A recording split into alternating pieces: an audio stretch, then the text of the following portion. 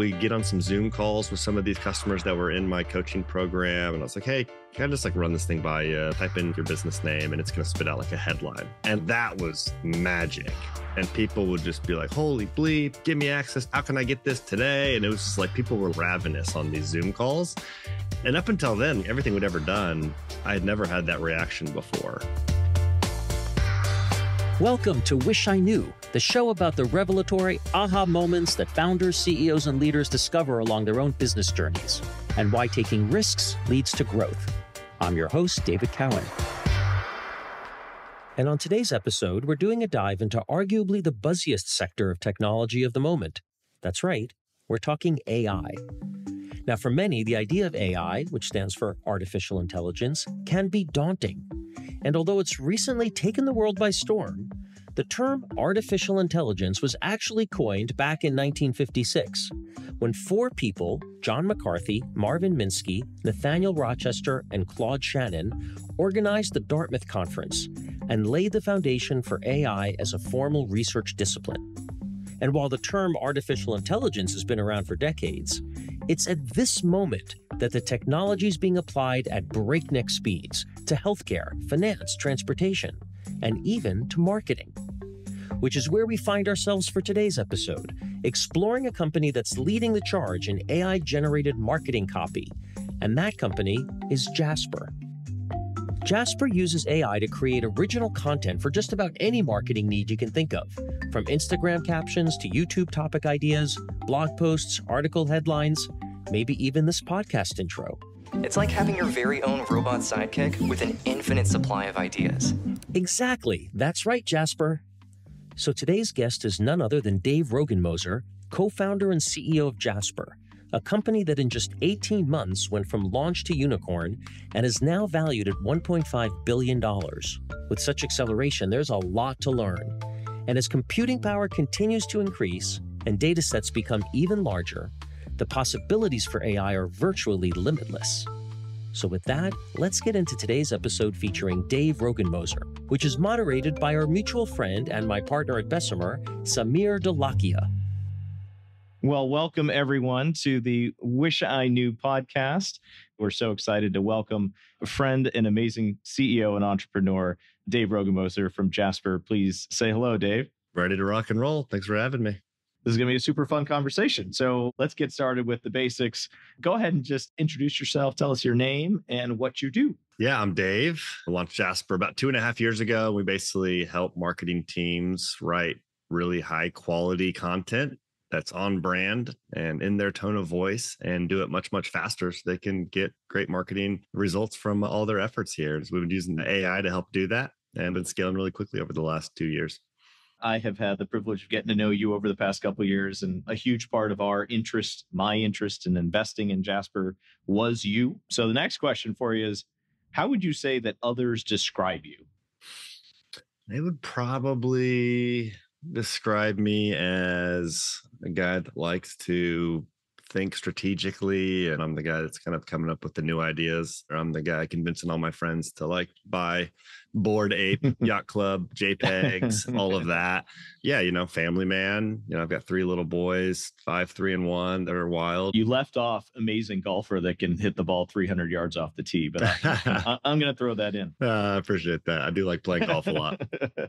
All right well let's talk about your entrepreneurial journey because it's been an extraordinary one you co-founded jasper with two amazing guys who i've had the pleasure to get to know Chris Hull and JP Morgan. But Jasper was not the first venture that the three of you worked on together. Maybe just share with the listeners a little bit about how you met those guys and what made you want to go into business with the three of you. Yeah, so I was working for this campus ministry at the University of Missouri, and thought that I needed to go learn how to start a business and didn't want to go get like a regular job and was reading some books on like what that looked like. I didn't know any founders. I didn't know what that was. I grew up in Topeka, Kansas, where we didn't have founders. You know, you might have like the guy, like there was a guy that owned a few Wendy's. Yeah. That was like the big like business guy that I knew of. And so I went to this wedding. I sat down next to Chris, who I like knew loosely I was like, hey, what are you doing these days? He said, well, I'm starting a software company. He goes, I'm taking this course that teaches you how to start a software company with no idea and no money. And I was like, that's me. He's like, and best of all, you don't need to know how to code. So, like, no skills, no idea, and no money. And as you can hear in Dave's voice, this opportunity was music to his ears. So he took the leap and enrolled in the course, officially kicking off his founder journey. So I went through this course that kind of taught how to do that. And you'd talk to customers, you'd basically let them describe the product to you. You'd kind of idea extract this thing out of the market. And then you'd go hire somebody on Upwork to go and build it for you. And eventually, he and JP were working on one company. I was working on this other company, and we kind of made an agreement. We're like, hey, like whenever like anyone starts making money, we'll just team up together on like that thing. Ah. And so I ended up pivoting and and started this marketing agency that teaches you how to start a marketing agency with no money and no idea and no understanding of marketing and basically got that working and convinced them to come over and work with me on that. And we just really wanted to build a business around our friendship and be committed to each other in that. And, you know, we didn't have any grand plans of building something huge. We just didn't want to have to go get jobs and we wanted to just enjoy the process. So Dave and his two buddies set off on a new venture back in 2014 to try to build a successful marketing agency. But once that business was built, it was time to set some founding goals. When the three of you got together and said, Hey, we're going to start this business, what were your expectations around how much revenue the business could build or how much it would be worth someday or anything like that? I had written down on this note card years before. By the age of 30, I wanted to be financially free by starting multiple profitable businesses and creating passive income streams. And my goal on there was to, to make $30,000 a month was like total freedom, you know, never have to like think about money again. And, you know, all these things there. So like at some level in my mind, like that was the goal, even though I wasn't kind of like aiming for that necessarily. But yeah, we just wanted to build a nice little business, have some employees, play some golf and just like enjoy doing it together. Yeah. So what happened from there? We were making revenue, but that's when we found out profit was different than revenue. So maybe, you know, in the theme of the show, what I wish I knew was that revenue and profit are two very different numbers. we just weren't making any money at the end of it after like, you know, all the all the work and we were exhausted and worn out. But we'd learned so much about marketing because like every client, I'd have to go build a brand new marketing campaign. And it was like a air conditioning unit company in Birmingham was one of them. And then I had to like help this guy in Hawaii sell like ozone generators. And then I have to sell this like PT services in Boston. And so it was just like this crash course every week in marketing, but then turned that into a course and a program on how to go basically start a similar business. I was really good at the sales part of the agency work, but like kind of bad at delivering it. And so I went and just started this course on how to like go land clients and kind of scale out a little consulting business, like help others do that. And, you know, like selling a course is hard work because it's a commodity or it becomes one very very quickly and so you kind of just live and die off of how good your marketing can be. And so you just get amazing at like selling a product that's kind of hard to sell at scale. And so you just yeah. be incredible at like funnels and optimization and all of that. Learn how to build community learn how to like build a tribe of people that care about this like common thing. Which we're going to come back to yeah yeah these are skills that all kind of add up to jasper. But ultimately like built that up, did a bunch of coaching stuff, started selling, you know, $30,000, $50,000 a year packages to people on how to grow their business and was selling $19 a month memberships to a Facebook group that's just for entrepreneurs. So kind of the whole gamut. And then we just got tired of that too. So we made the next pivot, which was a more productized version of that. And we basically said, Hey, we're teaching people how to like run ads and get increased conversion rate. But what if we just did it for them? And so we started this company called Proof.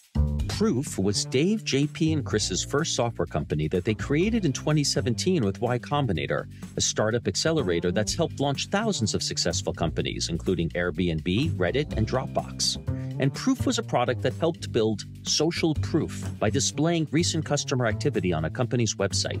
And it was basically a little pop up that you put on your site and showed how many people had purchased an item in the last 24 hours, or it might say, Samir bought this pair of pants six minutes ago. Yeah. It increased conversions just through social proof. But it was this whole new thing of building software that was really new to us and how do you scale it? And we ended up making a bunch of mistakes there that again, all of those things combined kind of led us to being like the right people at the right time for Jasper. One of our biggest mistakes early on, and there was so many mistakes, I mean, still are. We built ourselves into a corner where it got really hard to do any development on it. We just had all this tech debt and it wasn't kind of built using microservices and basically at this point where it was like you can't do anything else on this thing without having to rewrite the whole thing. Uh, interesting. And I remember going into Jasper, like JP, our CTO, had like learned that mistake and like built it to be more componentized and easier to switch out. It wasn't just this kind of like monolithic app, yeah. but it was something that, you know, if, if one part got obsolete, you could just go and, and rebuild it in like a week. It wasn't this big thing. Again, if we hadn't learned that with proof, we probably would have done that with Jasper. And four months in, we would have painted ourselves in a corner that we can't kind of get out of there. But fortunately, we didn't. Totally. Yeah, you know, I think we just never figured out how to like make this into like a bigger platform. We ended up getting to about like two hundred twenty thousand dollars of MRR. We did Y Combinator, so like raised two point two million bucks there. And I think a big mistake we made was once we raised that money, we kind of thought, okay, we've got this money, we've got time to solve this platform thing. And so let's build this platform, but we'll launch it in like a year. We kind of just kicked the can, like the pain of the market down the curb, like a really long way to the point when it kind of got time to like actually launch it. We realized like we were just we're not in touch with like what users really wanted. The people Yeah. that we'd kind of been talking to were being like nice to us and we're friends and we're just kind of saying, you know, they didn't want to break our hearts. And Yeah. we ended up you know letting go of a lot of the team at proof and kind of you know figuring out what was next but like we kind of looked at each other we said you know what we are never doing that again everything else we ever do we will launch and get a user on it within a month and we need people to start paying for it as quickly as we can Totally. What should listeners who are founders, what should they look for to know whether what they're working on is a feature versus a company?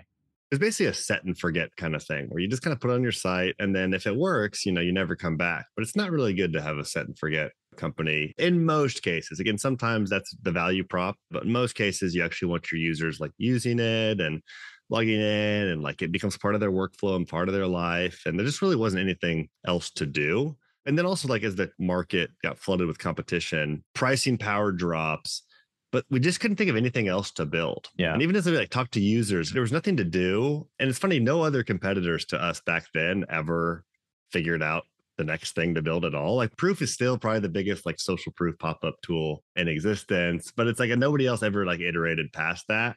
We tried to like make this move into like website personalization, which was like tangentially related in that what we felt like we sold was conversion rate optimization we needed to sell to the enterprise and we were selling to like SMBs. There was a lot of work to set up. There was a bunch of edge cases around hooking into websites. That was a real pain. Yeah. And we would do all this work for company for our customers and they would pay us like $200 a month. That's costing us like 10,000 a month to service this customer. and it's just, we never saw a path to like it being something great. I think just like obviously like make sure that you've got a path to building something that you could continually iterate on. And otherwise you could just end up with this like feature that's like easy to get commoditized and hard to keep building on. And where the unit economics have to make sense and all the the churn rates and does that all map to the segment you're pursuing? All those things it sounds like y'all wrestled through. You'd mentioned earlier that y'all ended up having to lay off a big chunk of the company and layoffs. Boy i tell you i know they are the worst things that i have ever had to do in my professional career. They're heartbreaking. They're difficult. Any things that you learned in that process in the spirit of i wish i knew Yeah, I mean, proof as much of like a technical like learning lesson. It was really a it was a big crash course in like people management. And if anything, that's kind of uh, maybe the biggest thing that we got from it. And yeah I think a few things that we did wrong. I mean, one, we hired everyone and we just thought we'll teach them what they need to know. We ended up hiring this cousin of Chris, great guy. He was like an accountant. We hired him and like ultimately like we're like, hey dude, you're our VP of sales. You need to go figure out how to do this. And you know, I don't know how to run a sales team. He doesn't know how to do it. We look around, nobody here knows how to do it.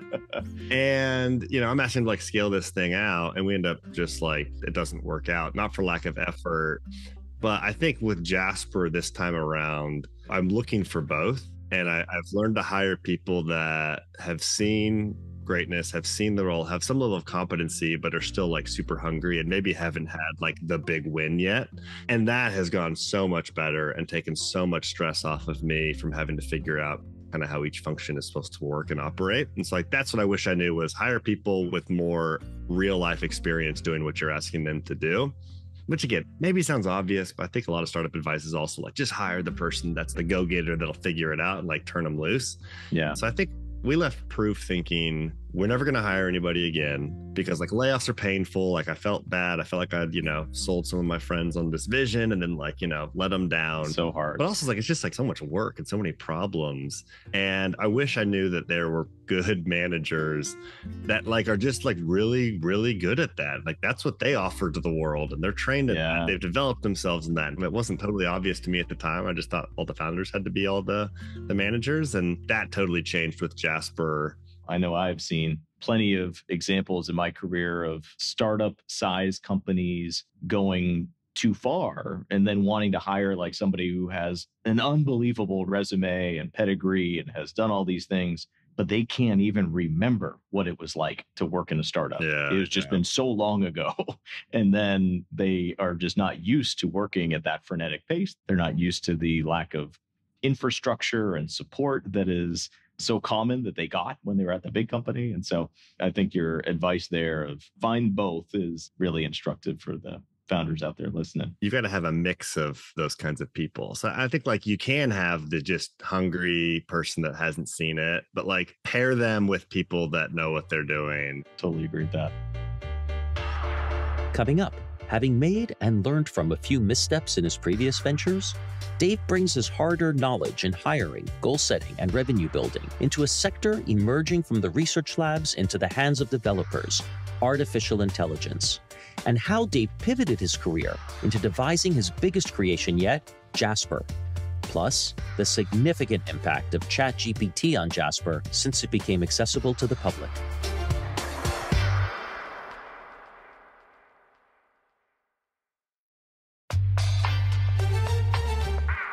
It was early 2021 that Jasper was founded. Our moderator, Samir, remembers when Dave took that leap to enter the AI space with Jasper. I always love to joke about how this overnight success story of Jasper is, in my mind, a decade in the making. How do you know if you're a founder whether you should be making the pivot, whether it's time? One of our companies before this, or like our shell company for the course company was called Pivot and Scale. It's like even for early days, we Mm. love the pivot. It's been like a huge part of our story. You know, I think for us, we would just become demotivated on something. Like I'm not waking up looking forward to working on this thing anymore. And if you spend a little time thinking about something a little bit different, a lot of times we would get so excited about some new idea that it was like, I can't possibly spend another second working on this old thing. And I cannot wait to get out of bed tomorrow and work on this new thing. And like usually we were always pulled into pivots, but I don't think people pivot en- enough or fast enough and they end up kind of grinding it out because they think that they're so close. Yeah. And in my experience, everything we've done well has had signals of being really great very early on. And the things that have taken us maybe six months or a year of grinding before we kind of seen into that, like typically didn't turn out very well at all. So if you've been grinding for a long time, like at least take a week or two and kind of think, you know, if I wasn't doing this, what would I do? And I think oftentimes you'll find something that you're just like, that's it. I, I can't believe I didn't see that. I think that's great advice. And I think it takes a lot of courage to execute the pivot. like it's so hard that you've got to be excited about it in order to like again put in the effort and the thinking and you got to be like thinking about it like while you're at dinner like even though you're like not supposed to be because you're like with guests and like it takes that kind of zeal and so like if you're not excited about it like it's just not going to work anyway because somebody else on the other end is excited about that thing and like is going to beat you you've got to make the pivot for it to even have a chance anyway Dave and his co founder's next pivot was to found the startup now known as Jasper. Their startup went through a number of name changes, from Conversion.ai to Jarvis, named for Tony Stark's AI butler. but Marvel wasn't thrilled about that last one. People obsess over these, you know, startup names, and then I'm on name number three of a of a pretty good company. So don't spend too much time caring about all that. Apparently, you can change it later multiple times. But yeah, basically, I mean, we kind of spun down proof in October 2020, and I went back to kind of my old roots right after that, and I was like, oh, I'm going to start this coaching business on how to do Facebook ads for B2B SaaS companies. It's like that's what we had done well. And that's kind of always been my like fallback. And it was funny, like in that I think it was like week four was how to write great ad copy. And I'd had this formula that I'd kind of developed that we would use to like run ads for proof and all of our businesses. And it worked really well. But then I would like teach it in this course. And I would meet up with like everyone like the next week. And like most of it was not good. And I was like, why are they not able to like follow? Like, I'm not teaching this well enough, or it's just new or whatever. And like, because it wasn't good copy that they were writing, their ads weren't going to convert. Yeah. My course wasn't going to work. And I was like, well, I could like write it all for them, but that's kind of exhausting. And I'd seen GPT-3, I'd seen some tweets, and I was like, oh, the AI looks like it could maybe handle this. And so I just seen like a way to get access through Y Combinator. And I remember texting JP, um, if we make a, a really simple front end to this API, we could build a really nice business, help people like write marketing content. And he's like, all right, I'm on it. And so JP builds this MVP over the course of like a month or so. We get on some Zoom calls with some of these customers that were in my coaching program. And I was like, hey, can I just like run this thing by you and like type in like your business name and it's going to spit out like a headline. And like that was magic. And people would just be like, holy bleep, give me access. Like, how can I get this today? And it was just like people were ravenous on these Zoom calls. And up until then, like everything we'd ever done, I had never had that reaction before. Nobody was ever like beating down the door for our product. And so I was like, okay, this feels different. This feels like maybe like this product market fit thing that I'd like heard about and like Yeah. always wanted. And then it was probably like the second week we decided, hey, like let's open this thing up and just like see what happens. So we built like a sign up flow, which you know wasn't even there when we were onboarding people. There was no cancellation button for the first like month, which is a good way to like defeat churn. You know, you're like, you can't churn. But just to just to show people like how bare bones this thing is and all the stuff that people build that you don't even really need to go and launch. And then it just like took off like week three and people were loving it. We were out of like twenty thousand dollars MRR, I think at the end of the first month. And it was just like, all right, this is off to the races. Like we kind of pivoted like all of our work. We had a couple like remaining employees that were like, stop what you're doing. Like this is the new business. I'm like calling the team that we had just let go. And I'm like, hey, get ready. I'm coming back for you soon. Like I think we got something here. That's awesome. It ended up, yeah, just kind of being on the wild ride that was conversion.ai and turned into Jarvis and turned into Jasper. You know, we also talk a lot about product market fit. I love talking about founder market fit. And I think there are certain problems in the world that need to be solved, but I think that the the ones who are most successful at solving them are the right people for the job. And it really does help to have some real depth of understanding of a problem and real expertise in the area, which clearly you guys have. Yeah. And I think it's important to like your customers. Yeah. and, and maybe that seems like a little trivial, but like I see people start businesses with customers that they don't even like and they don't really want to be around and they don't really want to hang out with. And it doesn't seem to ever go well. These marketers were like, we're our people, like they were our crew, they were our friends. Like I liked hanging out with them and I liked sitting around and talking about marketing copy formulas with them. You've got to spend so much time with customers to make this work that if you don't like them, you're never going to put in the required amount of time to do that. And you're not going to have the empathy for them that I think you need to go build really nice products for them. And so that would just be a lesson too. It's like, do you like actually even like enjoy this market and the problem that you're solving? Because it's just a lot of work and like making money alone is not a big enough motivator to like get you over the hump of, of not even enjoying the process. So obviously with Jasper, it was incredibly popular from the jump. I remember when we were first talking, you're like, yeah, man, you won't believe it. We've got customers that are like getting tattoos on their arm. And I think that was actually when it was still Jarvis. I, I don't know what they did with that, if they had to re- rebrand their tattoo. One guy still has a thigh tattoo with Jarvis and the logo. Oh my God. and you know just the old name but he actually loves it he's kind of like it's like you know vintage memorabilia that nobody else has I mean, that, that had to be an incredibly powerful moment for you all as founders to know the customer love for the service you had built was so strong. oh yeah no there was a lot of moments that first year that we just kind of would pinch ourselves and just think is this real life That's awesome. Now, you brought up something just a minute ago, too, that's also one topic that I know I have wrestled with my entire life, which is when you're so in love with a problem that you can't turn your brain off on it because it's so, it's got to get solved and you're just always thinking about it, even when you're not supposed to. And yet, I know for both of us, we care a ton about family, about being good husbands and being good fathers. How have you managed to strike that balance in your own life? You know, any any words of wisdom for the listeners out there who are going on their own journeys here?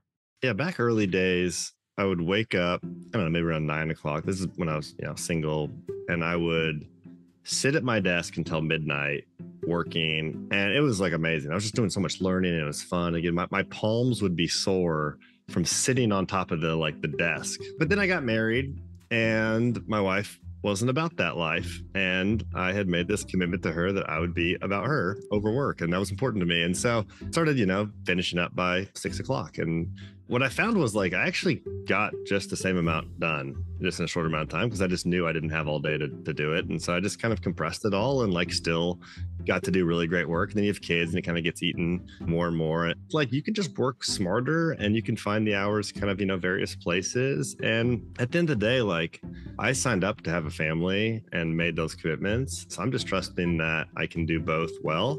If I had to choose one, like I'm not doing Jasper anymore. Fortunately, I don't have to choose one, but it's like I, like I'm the only dad that these kids will have, and I'm the only husband that my wife will have, and I want to be good at the things that are ultimately important here. And having that mental clarity on on the prioritization helps drive lots of other smaller decisions throughout your life. It's motivating to have a family, you know, like Yeah. it makes me work better at Jasper, and I've got other people to do this for, and I'd love to have my boys work for Jasper someday. And it's just like you know, it's all woven together. So these are not like two different things, but it's just a different life for sure. Let's talk a little bit about scaling. Company obviously has been growing like a weed. You have so many more employees than you did a year ago, let alone two years ago. And maybe share a little bit about what do you wish you knew about team building, leadership development, any any stuff about scaling. Yeah, we had a very weird path for scaling. I mean, the first year, we basically were still like, hey, we're not going to hire anybody. We're just going to like use Zapier and automate as much as we can, which was actually like a pretty, it's remarkable how far we took this thing. You know, at the end of the year, we had, I think, 35 million in ARR and, and nine people two customer support people, you know, serving 40,000 customers. And so like we actually like pushed it really, really far before we decided, hey, like let's go for this thing here. But I wish we would have started hiring and building the team a little earlier, Yeah. you know, even six months earlier.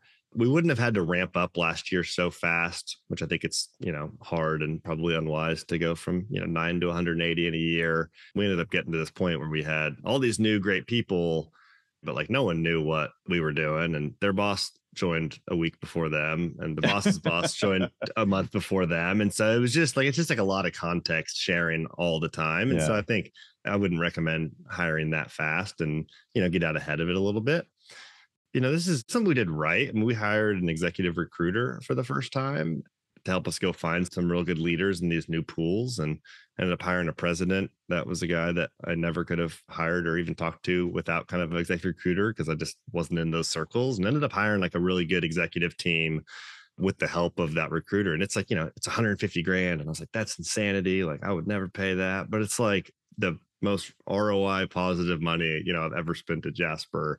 And the trickle down effect is like so big there. So I think that's something we actually did did right. No, it's it's a great ROI because the benefit of having the right leader in seat over a given function is the difference between success or failure. And every function needs to be hitting in stride for the whole company to be successful. I always use the analogy of the rowboat.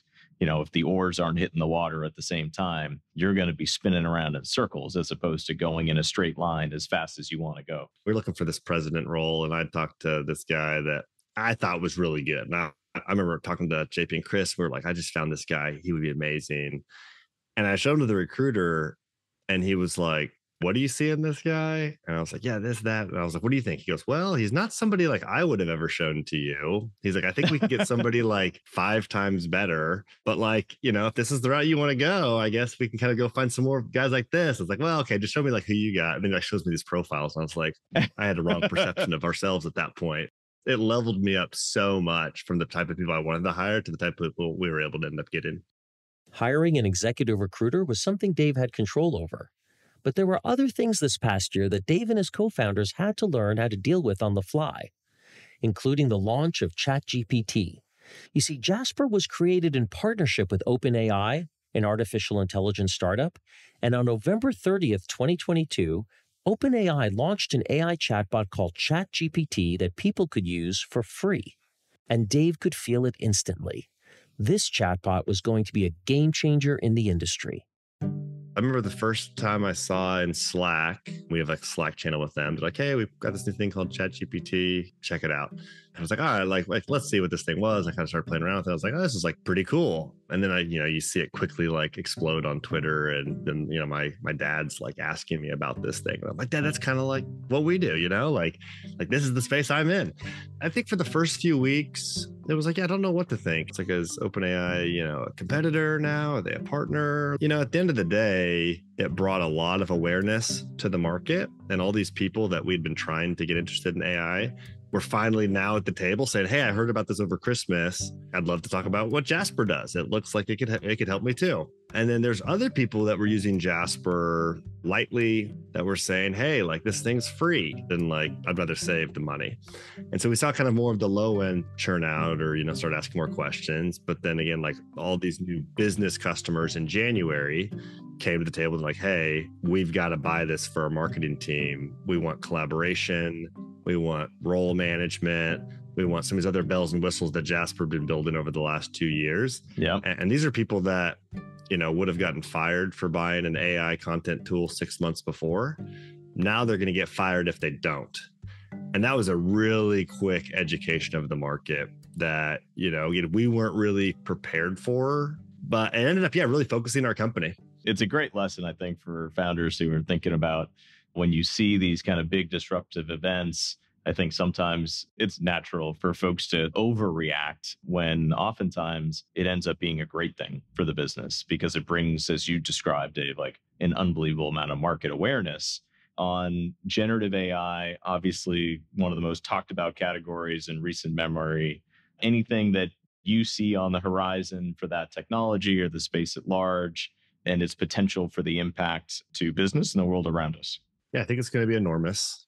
I think we're still scratching the surface on the application of this. And that is opportunity for people listening. You know, like if you can take this technology that is cool in demos, but bridge the gap and make it useful for regular people, you'll be a hero.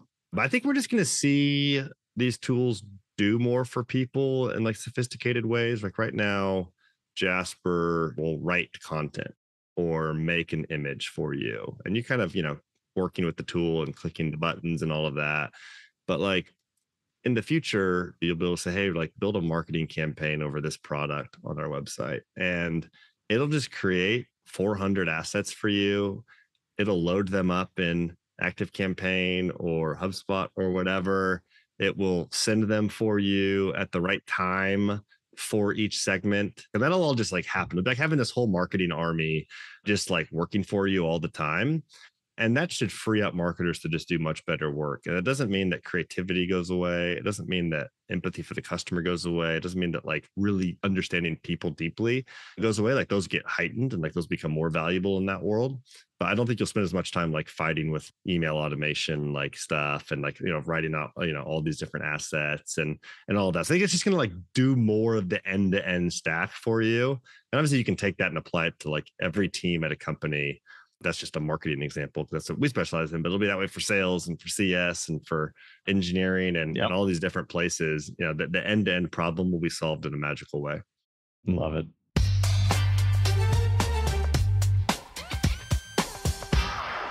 Okay. So, Dave, to get to know you a little more personally, I have five rapid fire questions for you. Are you ready? I'm ready. What are you reading or watching currently? I watched Succession the other day, which is interesting. And I'm reading a book on how the Chicago World Fair was built back in the late 1800s. Oh, interesting. All right. What's your favorite place that isn't your home or your work? Driftwood Golf and Ranch Club down the street.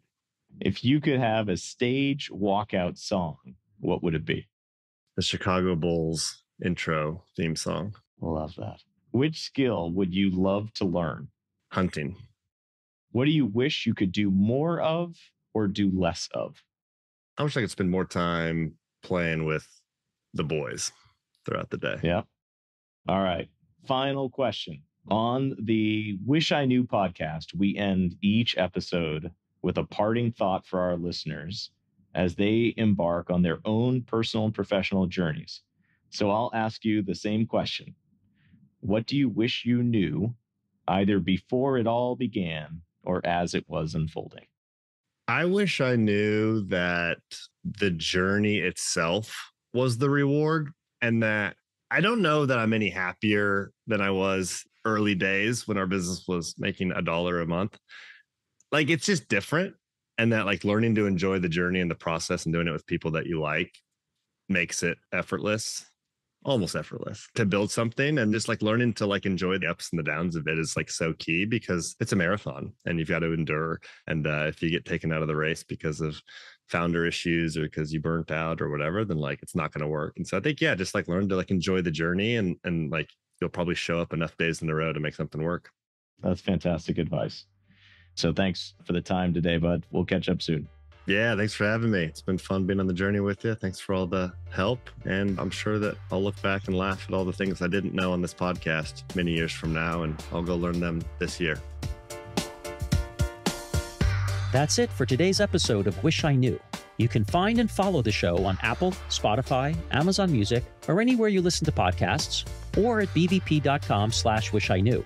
A special thanks to our guest Dave Rogenmoser for coming on today's show. Wish I Knew is a podcast by Bessemer Venture Partners. The show is created by our very own Karen Lee and Christine Deekers.